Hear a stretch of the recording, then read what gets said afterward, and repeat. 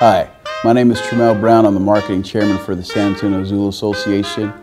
We want to welcome you and have you come to a Taste of New Orleans, taste some of the best food you've had. So the name of the event is the Taste of New Orleans. It's held at the Sunken Garden Theater uh, downtown, very easy to get to. You can get there from via park and ride. We have additional parking available as well. Some new additions to the food lineup that we normally have.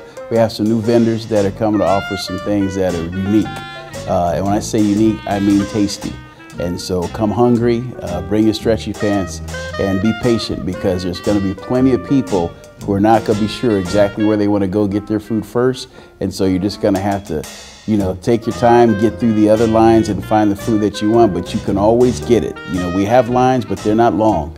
Uh, and they keep cooking uh, day and night, so you'll get a chance to taste everything that you want to. So the dates of the event are, it's Friday, Saturday, and Sunday, April 19th, 20th, and 21st. Uh, you can come out on Fridays as we start, open up the gates at, at 4. You can get in there, uh, start to taste the food. It's probably the best night if you've never been to just kind of come in right after work and come see all the smells and, and listen to the music and really taste a lot of the food that's there. You come on Saturdays, big crowd, big family crowd that's out there. On Sundays, probably our biggest day. Uh, a lot of people come, they want to relax and then start the week, you know, with, with the with the bang and, and go in. But we're here for you all three days, but uh, we welcome you to come and we'd love to have you there.